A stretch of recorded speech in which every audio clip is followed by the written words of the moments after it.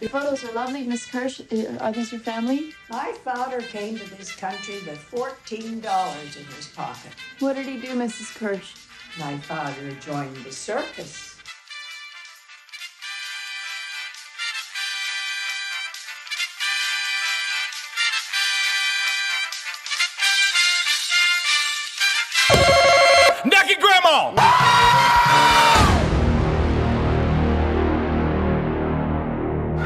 I don't want to see that either.